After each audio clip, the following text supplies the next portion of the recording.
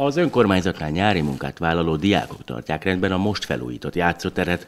12-en dolgoznak azon, hogy az itteni környezet mindig rendben legyen. A területre most került egy új gyerekjáték, ami falat mászni és csúszázni is lehet.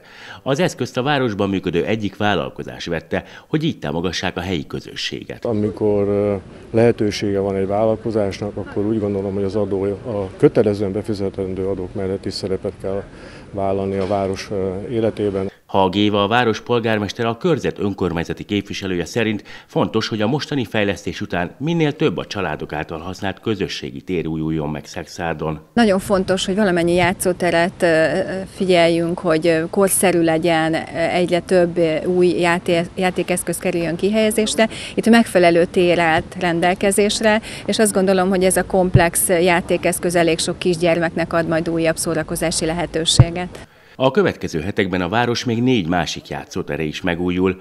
Az önkormányzat a Csokonai, a Május egy és a Klapka György utcákban is hasonló fejlesztéseket végez el. Az Energiaparkban pedig még ezeknél is nagyobb beruházás kezdődik el hamarosan. Egy kerítést építünk a szülők kérésére, és ott egy kutyafutató kialakítása is megtörténik, hiszen azt tapasztaltuk, hogy a kisállattartók és a kisgyerekes szülők között néha feszültség van a a játszóterek használatából, különösen homokozó használatából fakadóan, ezért szerettük, hogyha külön kutyafutatót tudunk létrehozni a városban. A mostani Kölcsei utcai játszótér fejlesztésére 2 millió forintot költött a támogató vállalkozás. A város polgármestere azt mondja, örülnének, ha a jövőben több hasonló felajánlás érkezne az önkormányzathoz.